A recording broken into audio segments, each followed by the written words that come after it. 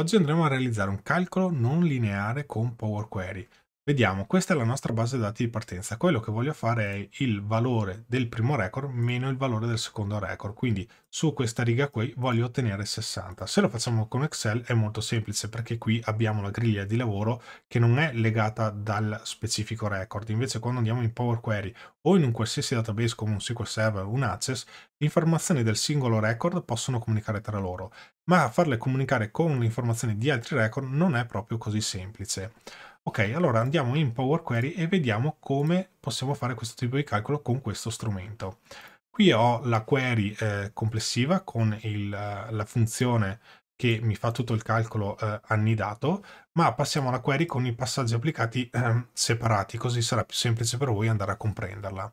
La prima cosa che dobbiamo fare dalla nostra base di partenza è creare un indice d'appoggio che ci aiuterà ad eseguire il calcolo, quindi andiamo su aggiungi colonna, e eh, andiamo qui su colonna indice e lo facciamo partire da 0. Una volta che creiamo su 0 si creerà appunto questa colonna eh, di appoggio. Dopodiché facciamo aggiungi colonna, colonna personalizzata e qui nasce il giochetto perché andremo a, far scittare il 100 sul record sotto, il 40 sul record sotto, quindi vediamo il risultato, qui ho una lista e qui c'è il 100 e qui c'è il 40 perché abbiamo proprio fatto scivolare questo numero. Come facciamo a fare questo tipo di attività? Dobbiamo scrivere una formuletta di questo tipo. Adesso poniamoci nel caso che analizziamo il secondo record perché il primo va in errore essendo che non ci sono record sopra il primo record. Poi vediamo come risolvere anche questo caso. Però concentriamoci quindi sul secondo record, quindi il 40. Io qua voglio ottenere il 100.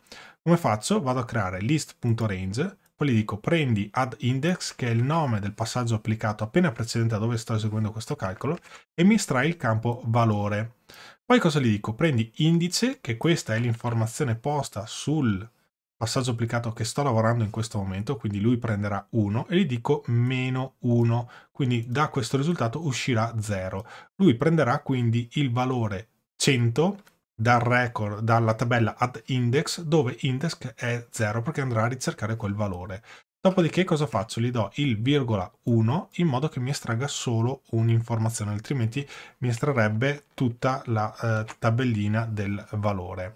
Fatta sta cosa qua, appunto, gli diamo l'ok ed ecco che otteniamo il nostro valore shittato. A questo punto vedete che è in corsivetto, quindi non lo possiamo lavorare. Dobbiamo trasformare questo dato, quindi dobbiamo andare a fare un altro passaggio e qui che cosa faccio? Gli dico guarda fammi un list.transform, mi prendi list range che è semplicemente questo campo qui, quindi vado a prendere le informazioni che ci sono dentro questo campo e gli dico text.from, quindi vado a trasformare in testo questo valore. Perché lo trasformo in testo? Perché poi devo andare ad eh, estrarre questo valore dalla lista e posso farlo solo se è in tipo testo. Quindi come faccio? Quando ho convertito in testo vado semplicemente a fare un text.combine, lì estrarmi l'informazione che sta dentro alla colonna list.transform. Così facendo io ho estratto il numero. Però adesso noi dobbiamo andare a compiere l'operazione di sottrazione, dovremo fare 100 meno 40. Vedete che qui il 40 è a destra e qui invece il 100 è a sinistra, significa che è un campo di tipo testo. Quindi prima di eseguire questo calcolo dovremo fare la conversione da qui e metterlo a numero, però se dopo dobbiamo fare tutto in un passaggio unico non possiamo fare questo tipo di attività. Quindi dobbiamo farlo in un modo un po' più furbo. Faccio un'altra colonna e vi faccio vedere come possiamo fare. Vedete che adesso arriva a destra. Qui che cosa faccio? Vado semplicemente a dirgli number.fromText, quindi estrae il numero dal testo e gli diamo una colonna di riferimento. Quindi lui prenderà il testo che è contenuto in questa colonna e lo converte in numero. A questo punto è molto semplice perché basterà fare number from text meno il nostro valore e abbiamo il nostro risultato. Vediamo come unire tutte queste cose qua. Quindi qua abbiamo la colonna indice che dicevamo e qui che cosa ho fatto? Ho fatto semplicemente questa, questa formuletta qua, dove ho messo un if indice uguale a 0, quindi lui guarda se l'indice è uguale a 0, mi metti 0, altrimenti mi esegue il calcolo così non ho nemmeno l'errore sul primo eh, record. E qui cosa faccio? Metto praticamente in modo annidato tutto quanto, quindi vado a fare il list.range che è qua, è il primo, quello che ci permette di estrarre l'informazione del record superiore. Poi lo trasformo in testo, dopodiché lo estraggo dalla lista, dopodiché lo converto in numero e qui ho il mio risultato che sarà 100 se parliamo del secondo record. Poi faccio 100 meno 40 ed ecco che ho il mio bel eh, risultato eh, facendo il calcolo appunto su record differenti. Può sembrare un po' complicato perché effettivamente lavorare con dati che stanno su record precedenti non è proprio così eh, semplice e banale.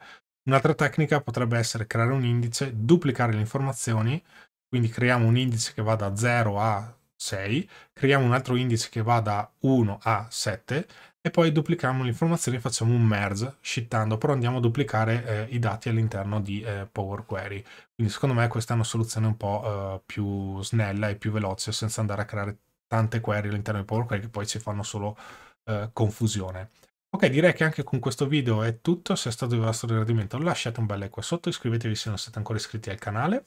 Se invece vorrete supportarmi in altro modo potreste pensare a stipulare un abbonamento premendo il tasto abbonati che c'è qua sotto così accederete a tutti i servizi che offro oppure potete supportarmi attraverso il merchandising acquistando un prodotto dello slogan BI for You che è la business intelligence per eh, voi.